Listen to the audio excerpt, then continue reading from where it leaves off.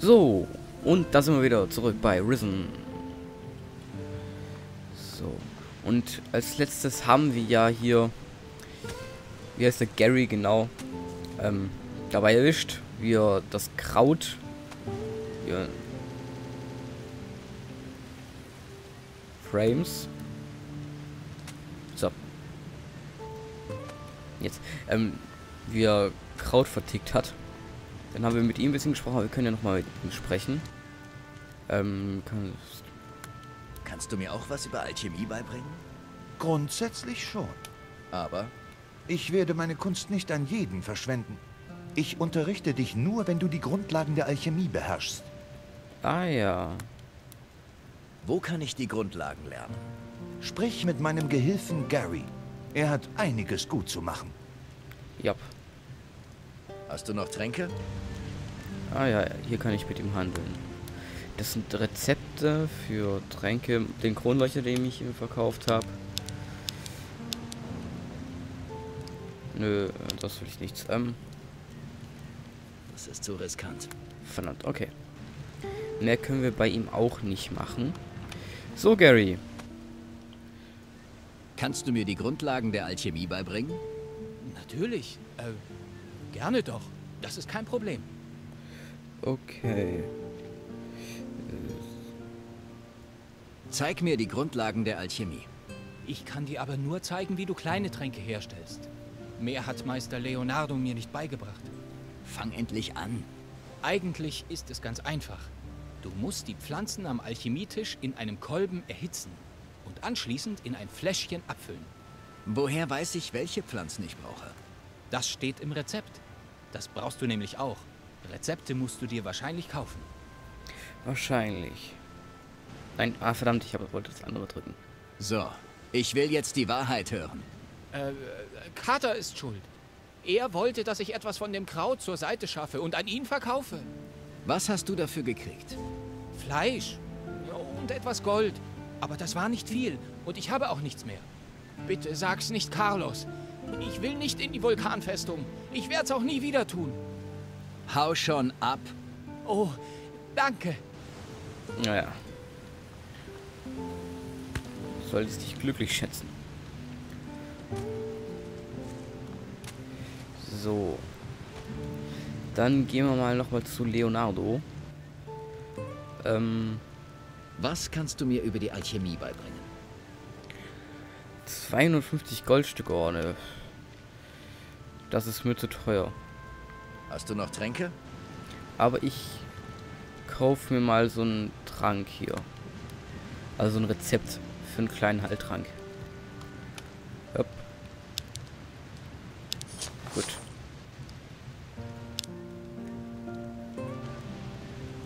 So. Das war das. Ich möchte mal kurz was in den Einstellungen nach umstellen. Bin gleich wieder da.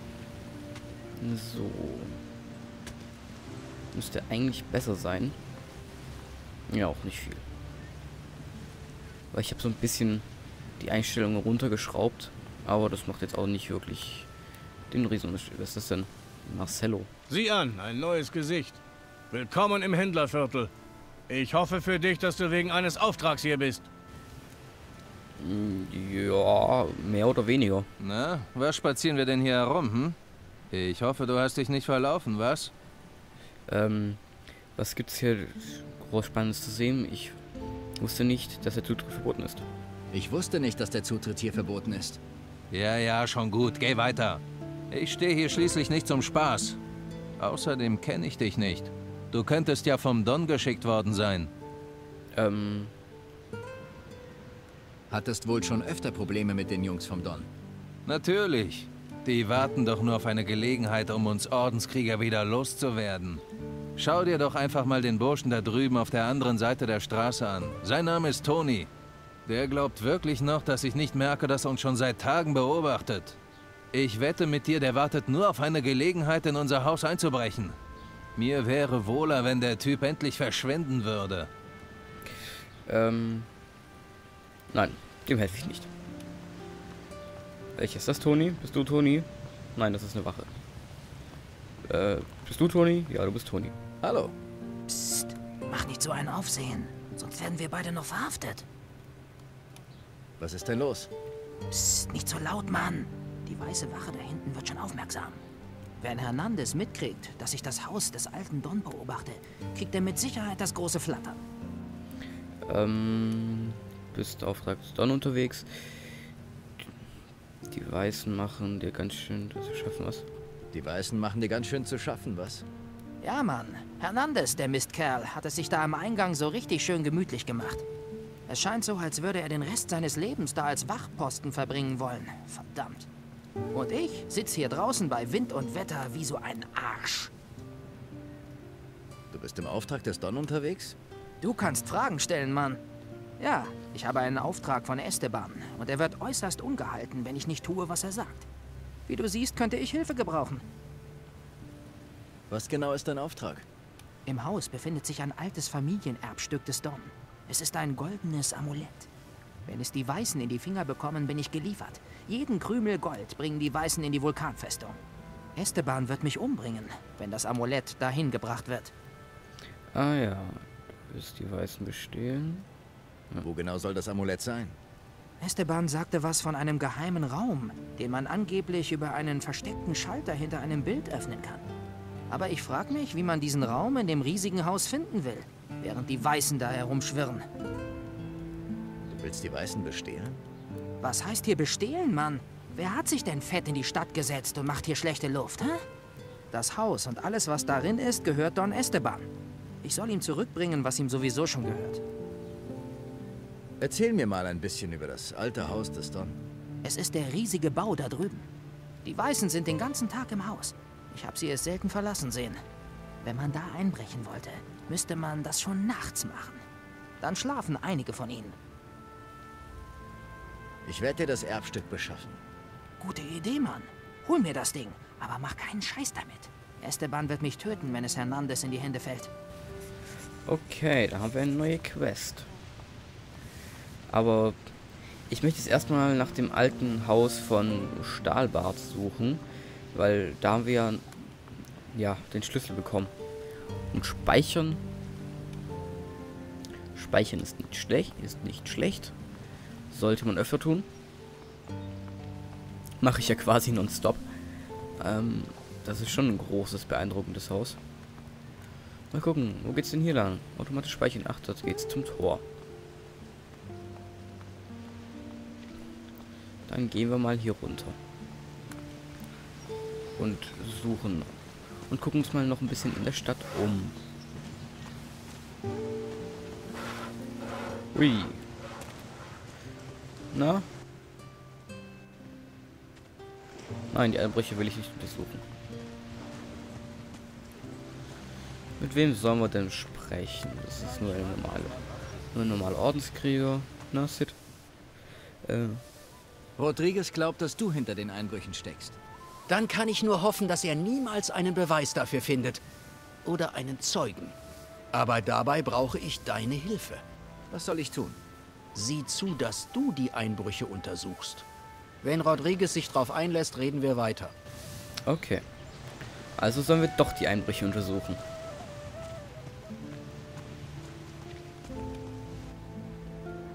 Ich werde die Einbrüche untersuchen. Gut, dann pass auf. Das wird keine leichte Sache. Du wirst deinen Kopf benutzen müssen, um diese Aufgabe zu bewältigen. Sid wusste immer, wo es was zu holen gab. Er hat sich vorher in den Häusern umgesehen? Nein, das wäre viel zu auffällig gewesen. Ich glaube, er hat jemanden geschickt, der für ihn die Häuser ausspioniert hat. Wenn du ihn findest, haben wir einen Zeugen. Okay. In welche Häuser wurde eingebrochen? Bei Nelson dem Kartenzeichner, Flavio dem Fellhändler und Baxter dem Buchhalter. Du solltest mit jedem der drei sprechen. Ihre Aussagen sind wichtig. Nur mit ihrer Hilfe wirst du in dieser Angelegenheit weiterkommen. Wo finde ich Flavio, den Fellhändler? Oben in der Gosse. Er hat sein Haus gleich neben dem Schrein der Heiligen Flamme. Okay. Wir sehen uns. Also. Dann gehen wir erstmal hoch in die Gosse zu Flavio dem Fellhändler.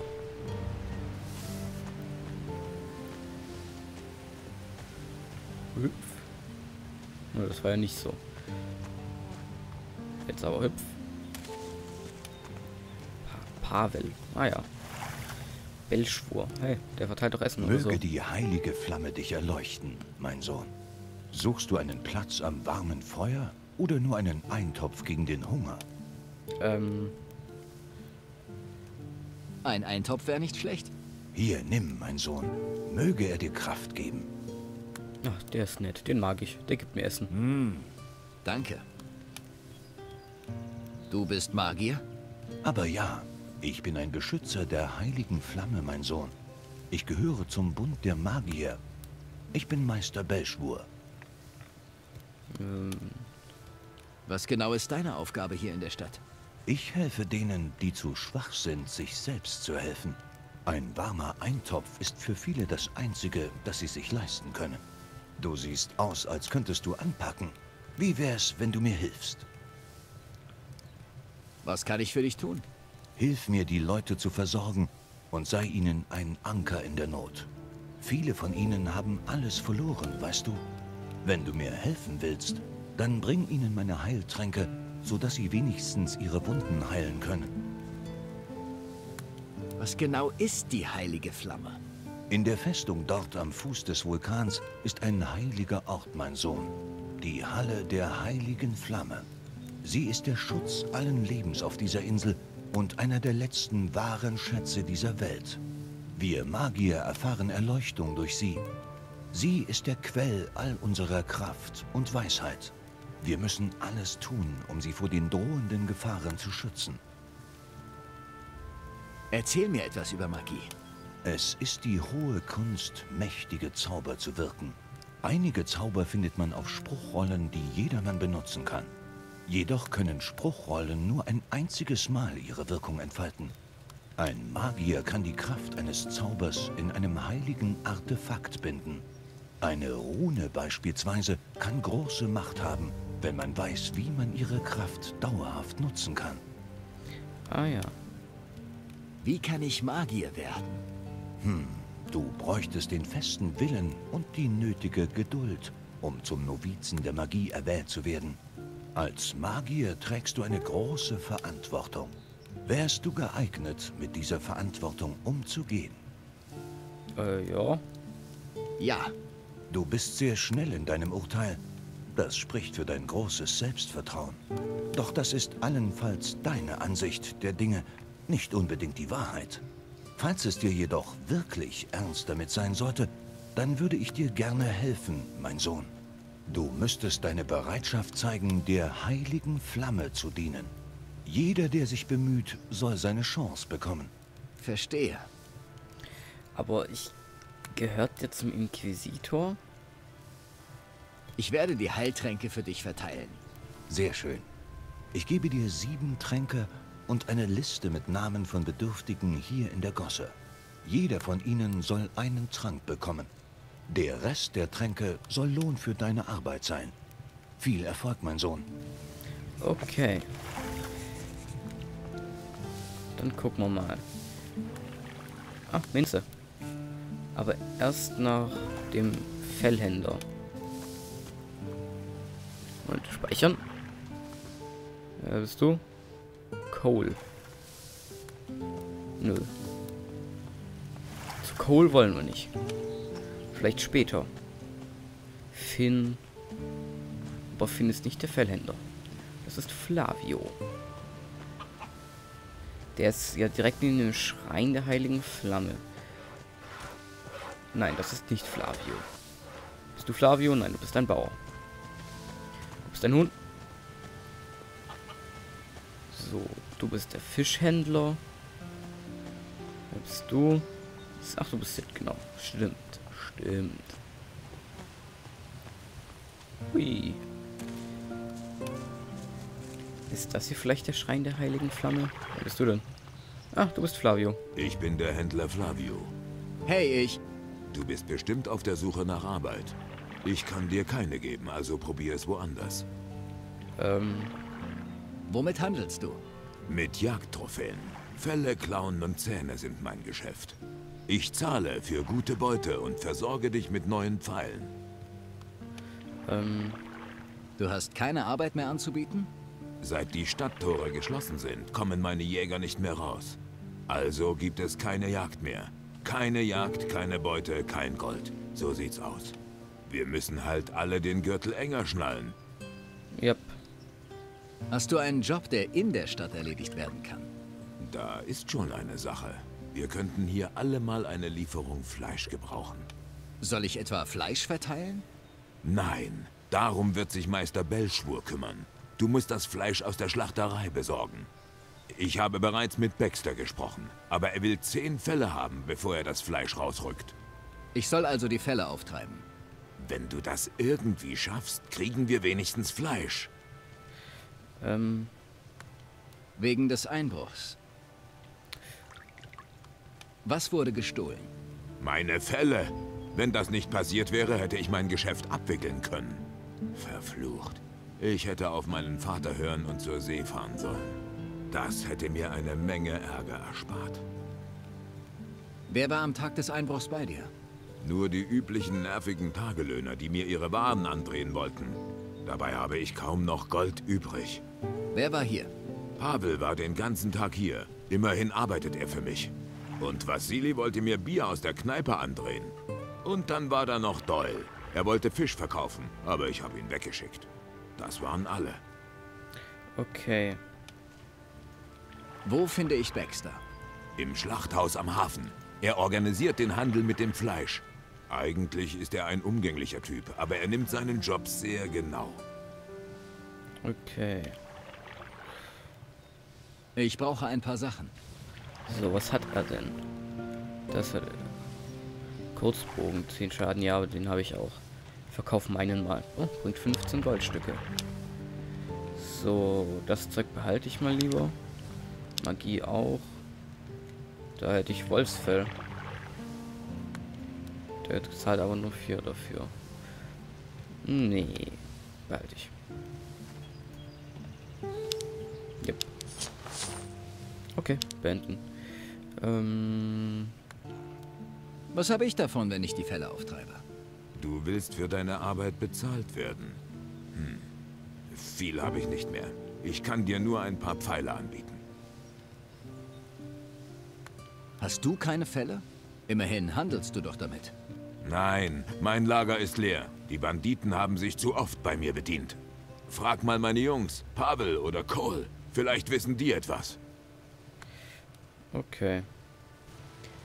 Cole war ja da oben. Zumindest noch vorhin. Das ist Gilles. Cole. Hi, ich bin Cole. Bist du auch auf der Suche nach einem ruhigen Plätzchen? Ähm, Was ist an diesem Platz so ruhig? Wir sind hier im Schrein der Heiligen Flamme. Einen ruhigeren Ort findest du in der ganzen Stadt nicht. Und? Was machst du hier? Ich bete. Ich bete, dass der ganze Spuk hier bald vorbei ist und ich wieder auf die Jagd gehen kann. Weißt du, wo ich Fälle bekommen kann? Fälle? Ich hörte, Baxter lässt eine Lieferung Fleisch bringen, wenn er einen Haufen Fälle bekommt. Deshalb bin ich hier. Hast du Fälle? Pass auf, ein Fell habe ich noch. Das kannst du kriegen. Und? Wie kann ich mehr Fälle auftreiben? Keine Ahnung, vielleicht hat Pavel eine Idee. okay, ähm, Hier, ein Heiltrank für dich. Mit einem Gruß von Belschwur. Ah, danke. Der Meister vergisst uns nicht. Du bist Jäger? Ja, ein Jäger ohne Bogen. Was ist geschehen? Das Gesetz erlaubt nicht, dass wir jagen. Die Ordenskrieger haben mich in die Stadt geschleppt. Ich hatte wohl noch Glück, dass sie mich nicht in die Vulkanfestung gebracht haben. Und dein Bogen? Ich habe ihn bei Costa versetzt. Er hat mich eine Woche satt gemacht. Aber jetzt hat nicht mal Flavio mehr Arbeit. Alles, was mir bleibt, ist der Eintopf von Meister Belschwur. ähm, Kannst du mir was über die Jagd beibringen? Hier in der Stadt gibt es nichts, was man jagen könnte. Was ist mit Bogenschießen? Das kann ich dir zeigen. Was kannst du mir über die Jagd beibringen? ähm, Geschick plus 1 plus 5. Oh, Geschick plus 5 wäre aber ziemlich teuer. Sag mal, wie man schleicht. Oh, schleichen. Bring mir bei, wie man richtig schleicht. Wenn du wirklich leise sein willst, musst du die Zehenspitzen zuerst aufsetzen. Achte darauf, dass du auf keine kleinen Äste oder so trittst. Sie würden dich verraten. Du musst langsam sein. Du darfst nichts überhasten. Cool. Jetzt können wir schleichen. Okay. Ende. Mal gucken. So können wir schleichen. Ah, auf Steuerung, okay. Oh, jetzt zack von hinten. Nein. Bäuerin. Gilles. Finn von der Wache. Weltschwur. Nö. Moment, wir gucken uns mal die Liste an, die wir bekommen haben. Ist, ähm, Rezept. Hier ist die Liste. Also, Cole haben wir. Finn. Okay. Finn steht ja da vorne rum. Gilles. Finn. Hi. Hi. Ich bin Finn. Du hast nicht zufällig Arbeit anzubieten. Nein. Nein. Mist. Hier in der Stadt ist nichts zu bekommen. Im Hafen ist nichts los. Und selbst Flavio hat keine Arbeit mehr. Ähm. Belschwur schickt mich. Ich soll dir diesen Heiltrank geben. Danke. Den kann ich jetzt gut gebrauchen. Ja, das denke ich mir. Was kannst du mir über Flavio erzählen? Die meisten sagen immer, dass Belschwur der Einzige ist, der etwas für uns Bauern tut. Aber das ist nicht wahr. Flavio ist ein guter Mann und hat vielen von uns Arbeit gegeben. Jedenfalls solange es noch welche gab. Und was ist jetzt? Nichts. Das Lagerhaus ist leergeräumt und hat die meisten von uns entlassen. Okay. Wen haben wir denn noch auf der Liste? Elias, Josh und Martha. In der Stadt passiert so schnell nichts. Okay. Meine Meinung will ja keiner hören. Das ist der, den wir verprügelt haben. Havel. Hier gibt's Diebstähle? Und nicht zu knapp. Die klauen alles, was nicht nied- und nagelfest ist. Flavio haben sie alle Fälle aus dem Lager geräumt. Und das Schlimmste ist, die Banditen kommen auch noch damit durch. Nein, die Stadt ist nichts für mich. Ich bin froh, wenn ich hier endlich wieder verschwinden kann. Okay. Du wurdest in einem Haus gesehen, in das eingebrochen wurde. In mehreren. Ich war in mehreren der Häuser, in die eingebrochen wurde. Aber das macht mich noch lange nicht zu einem Dieb. Hm, na schön. Aber verdächtig. Wo kann ich Fälle auftreiben? Ich habe keine und kann auch keine herbeizaubern. Aber einige Bürger haben ihre Häuser mit Fellen ausgelegt, wenn du weißt, was ich meine. Aber das ist doch Diebstahl. Tja, Wölfe und Keiler sind gerade nicht so viele in der Stadt. Und wenn du keine